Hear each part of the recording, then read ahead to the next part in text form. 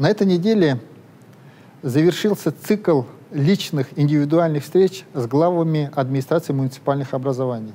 В фокусе внимания, конечно же, были вопросы реализации программ, которые направлены на изменение облика сел Чувашской Республики. Особое внимание уделили программе капитального ремонта образовательных учреждений. Их в этом году капитально ремонтируется 90 учреждений.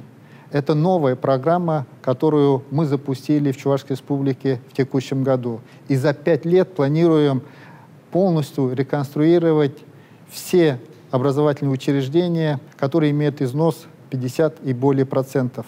Президент дал поручение запустить аналогичную программу с 1 января следующего года по всей Российской Федерации.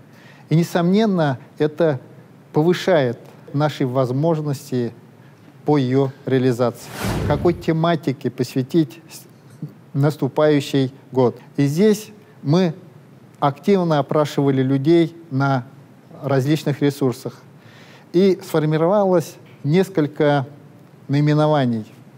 Это год именитых земляков, это год инновационного технологического развития или год подвига и героизма медицинских работников, год культурного и духовного наследия, год гостеприимной Чувашии, год космических достижений или год села. Это основные темы, которые набрали максимальное количество предложений и максимальное количество голосов. И в ближайшее время мы ждем дополнительной активности людей с тем, чтобы окончательно определиться с наименованием года. Порадовали данные по экспорту. Чувашская республика приросла по этому показателю более чем на 28% относительно прошлого года. 79 предприятий активно экспортируют или поставляют свою продукцию в страны дальнего и ближнего зарубежья радует, что это высокотехнологичные предприятия. Если говорить по направлениям, это, конечно же, химическая отрасль, отрасль электротехники, даже агропромышленный комплекс поставляет за рубеж продукцию уже переработанную, высокодобавочную, тем самым э, поддерживая и развивая отрасль сельского хозяйства.